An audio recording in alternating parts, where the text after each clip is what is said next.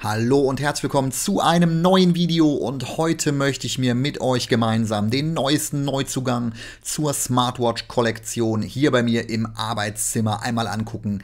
Ihr seht hier meine vergangenen Smartwatches oder vielmehr die Uhren, zu denen ihr vielleicht schon Videos auf diesem Kanal gesehen habt aus der Samsung Galaxy Watch Reihe und jetzt ganz neu im Portfolio die Huawei Watch 3 Pro als neuester Neuzugang, den wir uns in einer kleinen Serie mal wieder gemeinsam anschauen wollen. Und heute legen wir mal los mit der Einrichtung, also den ersten Schritten sozusagen, die man tun muss. Viel Spaß mit diesem kleinen Video.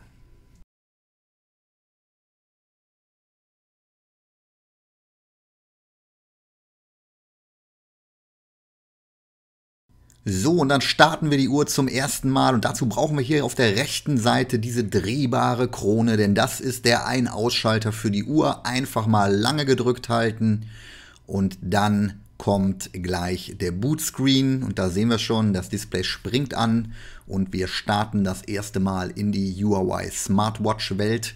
Ich habe bisher tatsächlich auch noch keine Huawei Smartwatch gehabt, von daher ist es jetzt ähm, das erste Mal, dass ich mir eine solche Uhr jetzt im Startprozess anschaue. Das Betriebssystem ist ein neues, ähm, gibt es noch nicht seit so vielen Generationen der Huawei Smartwatches und zwar ist das Harmony OS. Hier sehen wir es auch nochmal.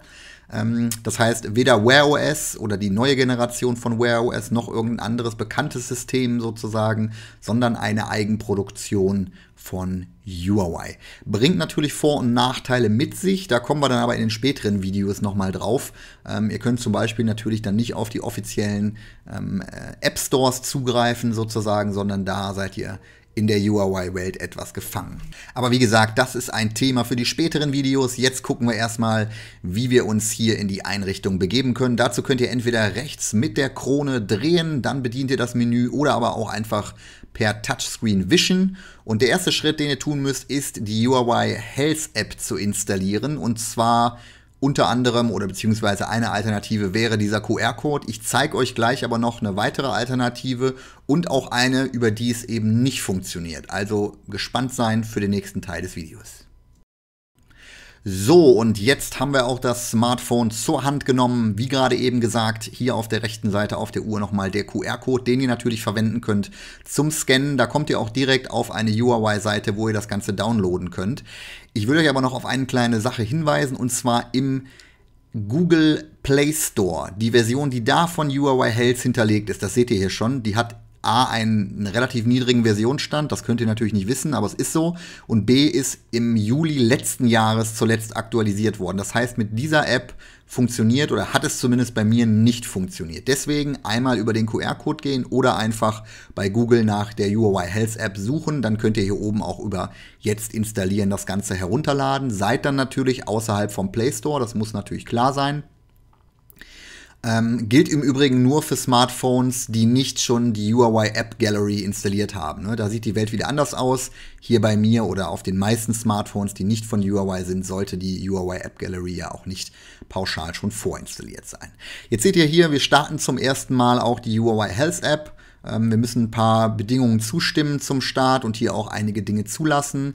Das ähm, gehört zum abschließenden Prozess nachher einfach mit dazu. Hat relativ einfache Gründe. Ihr wollt ja nachher auch mit der Uhr telefonieren und so weiter und so fort. Deswegen kommen nachher noch einige Berechtigungen sogar auch dazu. So, jetzt schauen wir uns aber erstmal an, wie die ganze Verknüpfung stattfindet. Einmal unten auf Geräte und dann seht ihr hier ähm, wenn ihr die, äh, die Ortung zulasst, dann wird nach eurer Uhr gescannt und im Optimalfall, und wir haben sie ja gerade schon in diesen Zustand versetzt, ähm, klappt das Ganze auch. Hier oben hat er jetzt was noch nicht runtergeladen, paar Resources, das holen wir nach. Jetzt seht ihr hier, die Uhr ist erkannt. Wir sehen, die Uhr ist im Zustand der Kopplung und jetzt können wir links auf Link gehen. Ich glaube, im Deutschen heißt es dann koppeln oder sowas oder verbinden, wie auch immer. Den, der Button ist der gleiche.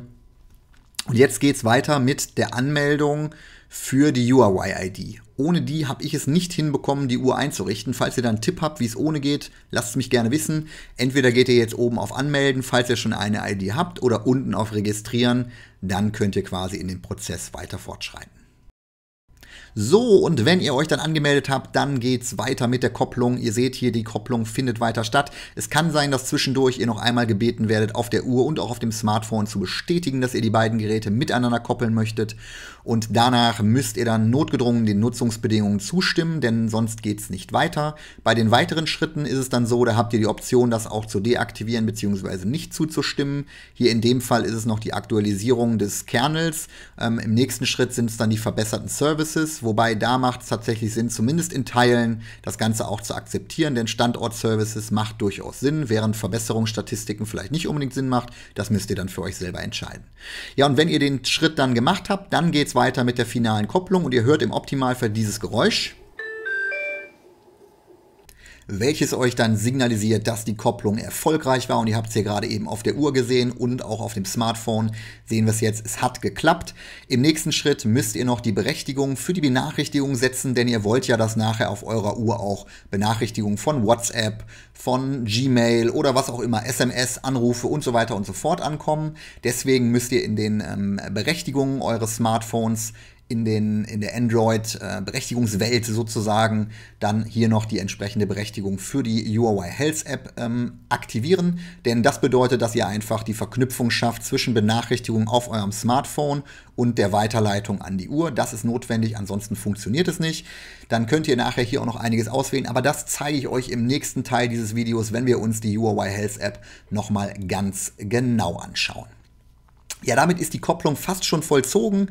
Ihr bekommt hier noch eine kleine Info unten und im nächsten Schritt seht ihr, dass wir jetzt noch einige Berechtigungen zulassen müssen, um eben mit der Uhr zu telefonieren, SMS abzurufen und so weiter und so fort. All das sind die Berechtigungen, die jetzt noch nötig sind. Ihr könnt noch eure ähm, ID mit der Cloud synchronisieren, müsst ihr euch selber überlegen, ob das Sinn macht und bekommt einen Hinweis, dass die Uhr immer ein zwei Finger breit vom Handgelenk aus getragen werden soll. Damit sind wir durch. Das heißt, die Einrichtung hat geklappt. Wenn sie nicht geklappt hat, dann schreibt mir gerne in die Kommentare, an welcher Stelle ihr scheitert. Dann versuche ich euch da noch ein bisschen weiterzuhelfen.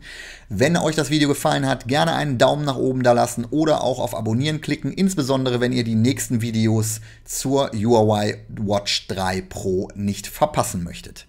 Vielen Dank fürs Zusehen. Mir bleibt am Ende wie immer nichts anderes zu sagen als Alexa, Kamera aus. Okay